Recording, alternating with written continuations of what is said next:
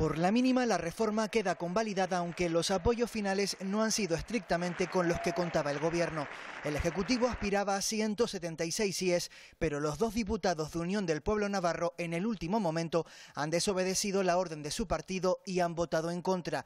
El resultado hubiese sido 174 síes y 175 noes. El decreto hubiese decaído, pero hubo giro de guion. El voto telemático favorable de un diputado del PP que dice que hubo un error informático dio luz verde a la reforma. Y el grupo parlamentario, antes del inicio de la votación, ha puesto en conocimiento de la presidenta que había una anomalía.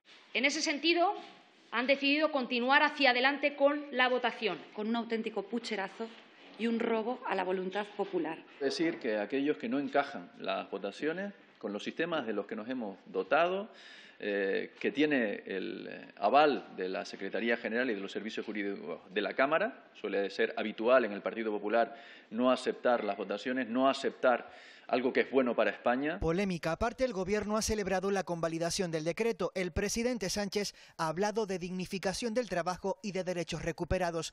Adiós a la nefasta reforma del PP, defiende la vicepresidenta y ministra Yolanda Díaz.